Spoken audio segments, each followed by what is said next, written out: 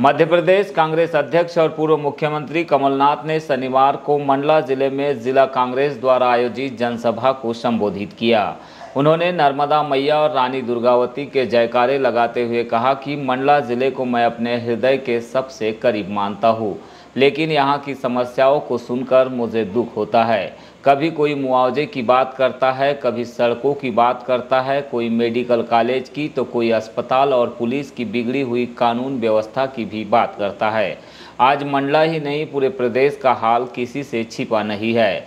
प्रदेश की तस्वीर आपके सामने है। चौपट राज, चौपट सरकार, चौपट शिक्षा व्यवस्था, चौपट स्वास्थ्य व्यवस्था, चौपट नदियाँ, चौपट नौजवानों का भविष्य और चौपट काम धंधे।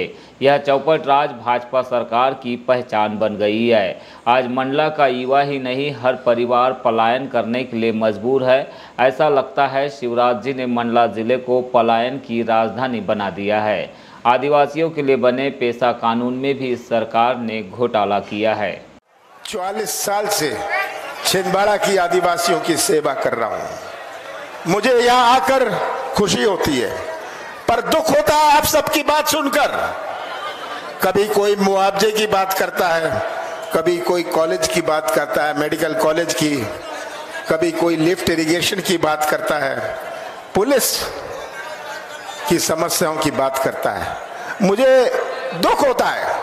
आज प्रदेश की तस्वीर आप सबके सामने है। चौपट राज, चौपट सरकार, चौपट मध्य प्रदेश। प्रदेश में 18 साल से ये चौपट सरकार चल रही है। 18 साल कि इस चौपट सरकार ने, इस चौपट सरकार ने मध्य प्रदेश का भविष्य चौपट किया। चौपट रोज़गार योजना। चौपट भर्ती व्यवस्था।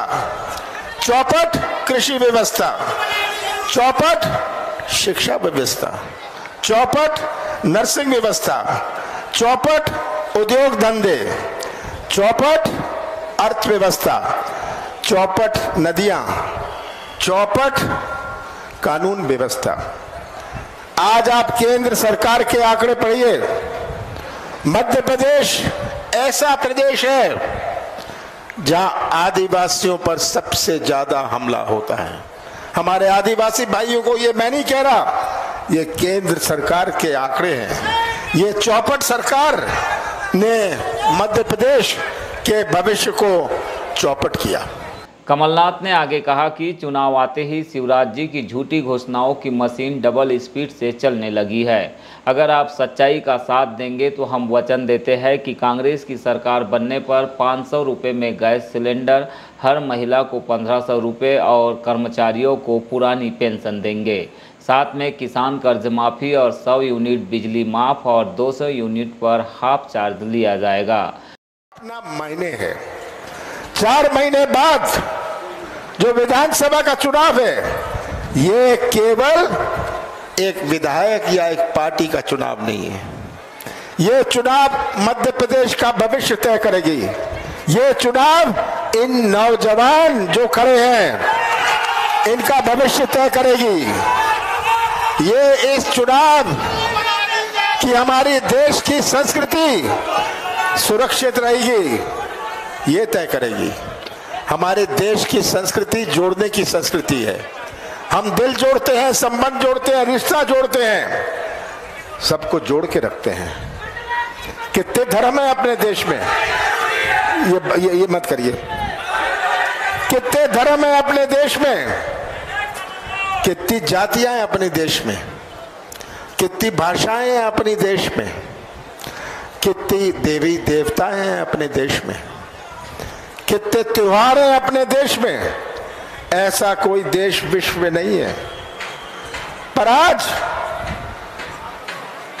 हमारा देश एक झंडे के नीचे खड़ा है, क्योंकि हमारे देश की संस्कृति जोड़ने की संस्कृति है।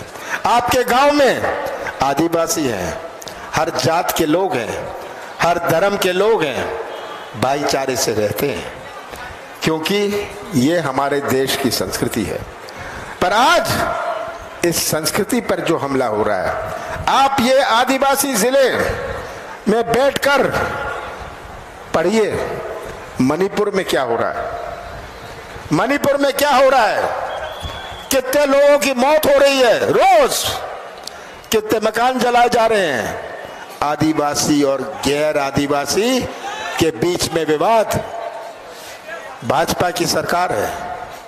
आज केंद्र सरकार के आंकड़ों पर नज़र डालें तो मध्य प्रदेश आदिवासियों पर अत्याचार और अन्याय में सबसे आगे है। यहाँ की जनता शिवराज सिंह चौहान की बड़ी बड़ी घोषणाओं की भी गवाह है। उदाहरण के तौर पर मंडला में मेडिकल कॉलेज की घोषणा कई बार की गई है, लेकिन आज तक मेडिकल कॉलेज की स्वीकृति भी प्रदान नहीं की गई। ज़्यादा ना कहते हुए आपको तो बस सावधान करना चाहता हूँ। जैसे मैंने कहा, आप रक्षक हैं। आप मंडला के भविष्य के रक्षक हैं। आप इन नौजवानों के भविष्य के रक्षक हैं। आप मध्य प्रदेश के भविष्य के रक्षक हैं। और मुझे पूरा विश्वास है, पूरा विश्वास है कि पाँच महीने बाद आप इसकी रक्षा करेंगे।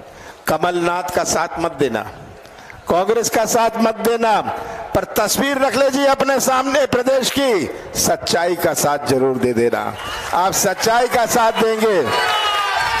सच्चाई का साथ देंगे तो मध्य प्रदेश का भविष्य सुरक्षित रहे, रहेगा। ये आपके सामने चुनौती है यही मेरे आपके सामने प्रार्थना है और मुझे पूरा विश्वास है मंडला पर मुझे पूरा विश्वास है कि चुनाव के बाद मंडला ज़िले के हर तीन सीटों का झंडा मध्य प्रदेश की विधानसभा में लहराएगा। आप सबका बहुत बहुत धन्यवाद। हो गया हो गया हो गया।